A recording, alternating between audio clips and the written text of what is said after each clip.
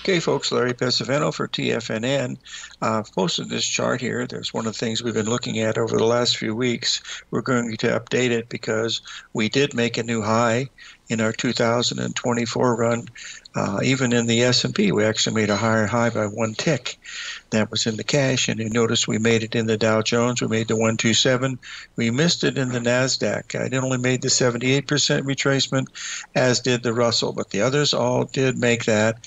The first day down after the holiday, if you remember, the third is the day we were looking for.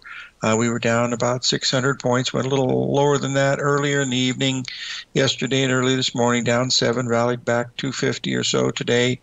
So it's still in the you know bullish mood. I I saw that uh, United Healthcare went above 608 today. It's trading ten dollars lower than that right now, and IBM had made a new high today, and Johnson and Johnson had made a new high today. Uh, of course, some of the others, Microsoft and a few of the others that we've been watching, have not been able to do that. Now, our guest today will be Bill Meridian of Cycles Research. He does some of the best work around. We have him on at least once a month to try to, you know, make sense of all the things that are happening here in these markets. And believe me, folks, we're having incredible volatility, and it's going to increase oh dear, at least for the next couple of years, I would think, because we've seen things we've never seen before, like records in the stock market with number of up days without a correction and that type of thing. So it's going to be very, very interesting.